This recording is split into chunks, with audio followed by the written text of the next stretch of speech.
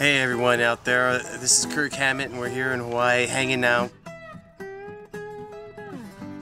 Smoking cigars, driving cars, and... Oh yeah, that's right, we're taking pictures. For Guitar Aficionado, the July, August issue.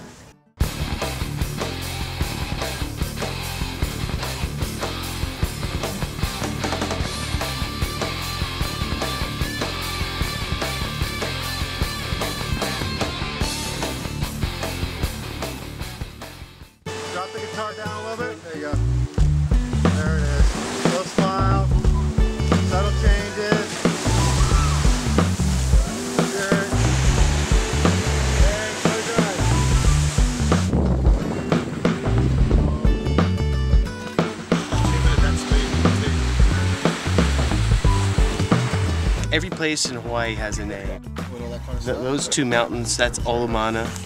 And this mountain range right here are the Koolau Mountains. And they're all a part of a string of, of ancient volcanoes that, are- that are, are not active anymore. And uh, yeah, there's a lot of mana that comes off these mountains. And mana is a Hawaiian name for like life force and energy uh, and, and earth energy. And uh, yeah, this place, this whole place has a lot of mana. You can feel it. It's pretty special.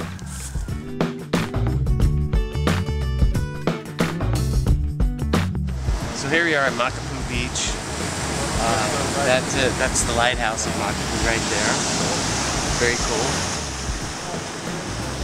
And that that's an island called Rabbit Island. There used to be a, a colony of rabbits that lived on it.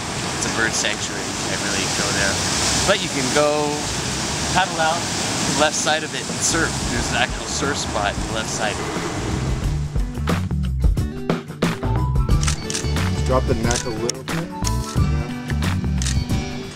So right now we're at Portlock Point, and uh, it's a point, as you can see, where there's just a bunch of like lava rock, and then it just drops straight into the ocean.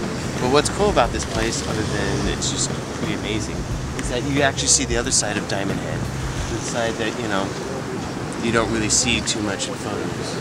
And this is a great place to, to see whales. Sometimes whales just are, are just are just right there. Turtles. There's a tiger shark that lives here. That's why I don't surf here. But it, it, it's a it's a really cool spot. It's one of those amazing sites that are just all over this island. It's amazing.